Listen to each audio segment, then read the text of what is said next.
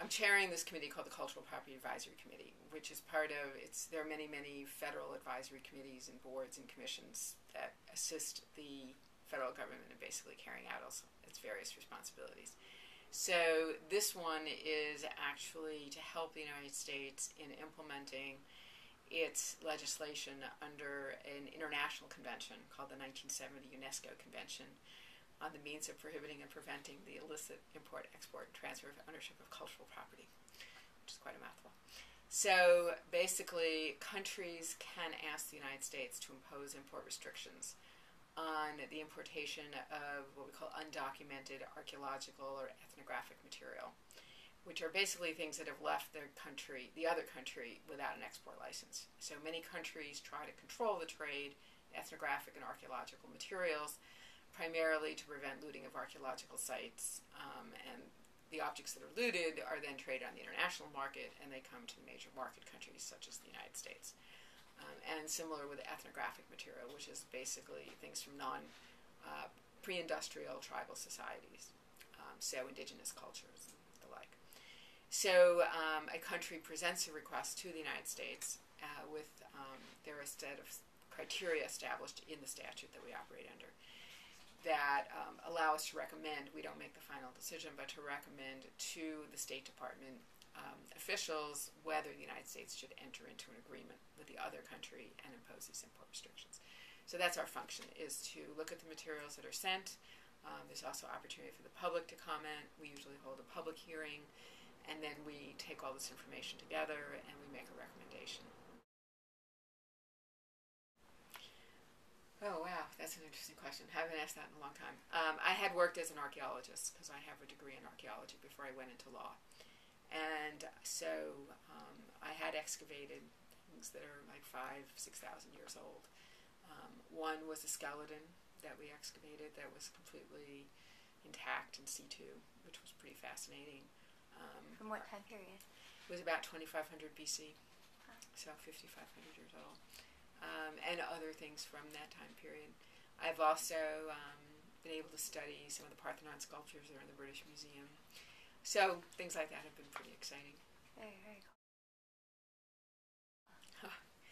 Um, a couple of things. Um, I think most particularly was realizing um, this was, of course, a long time ago.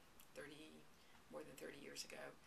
Um, but I began to realize that there were a lot of legal issues. Um, really, the field of art law and cultural property law just barely existed at that time.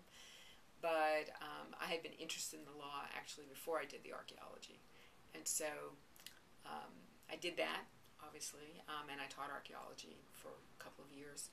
But I began to see that the field was a pretty narrow one um, and that the implications of how archaeological artifacts are dealt with in some ways was more interesting in terms of what that tells us about contemporary society. And I felt that how society views the past um, is best studied as how it's embodied in the law and how the law deals with cultural artifacts.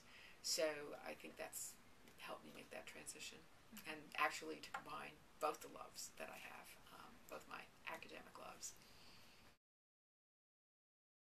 fitting within a broader perspective of um, the Obama administration's goals to um, further what is called public diplomacy and cultural diplomacy. That cultural relations cultural, and cultural heritage are an important part of our um, foreign relations and our diplomacy. And this has been a big change from past administrations. So I would like to see um, my role as fitting within that broader spectrum. And I think that using what we call soft power, essentially, diplomacy as opposed to just military power, is an important part of building friendly relations throughout the world. And showing that we respect other countries' cultures is an important part of that. So um, the first is that the, um, and, and they don't necessarily apply to specific artifact types, although that is how the legislation works, but the artifacts have to be subject to looting country that has made the request for the import restrictions. So the specifics of kinds of artifacts probably are most considered under the question of whether they are subject um, to looting and pillage that threatens the cultural patrimony, the cultural heritage of the country that has asked for the import restrictions. other than that, the other three criteria are more general. One is whether the country is taking um, efforts itself to comply with both the terms of this UNESCO convention and also to protect its own heritage. Third is whether other countries that have a market in those objects are taking similar steps to prevent trade in looted and illegally exported artifacts. And the fourth is whether um, the import restrictions will actually help to promote um, intercultural exchange in ways that do not damage the cultural heritage of the country.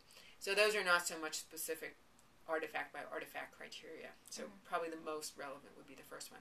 But a list is drawn up and that um, shows the artifact types. Because when an artifact is looted out of the ground, there's no documentation for it. It's not like if something's stolen from a museum, you know, the museum probably has a photograph, they'll have an inventory number, they'll have a description. So if something's stolen from a museum, it shows up, let's say in the United States, it's easily classified as a stolen object and it can be identified and returned. But when an object is looted from the ground, it's not documented in any way. So it gets traded through the market, shows up in the United States, nobody knows, you know, um, is it subject to some kind of legal restraint because it's not specifically documented. So what these import restrictions do is it creates a list of artifact types. So if an object fits into the artifact type, then the importer has to show an export license from the country of origin or that it was exported before the restriction went into effect. So this is the only way of trying to deal with the problem of looting of artifacts directly from the ground, which is what causes the most destruction of our past, our knowledge of the past, and um, dealing with this problem of undocumented artifacts.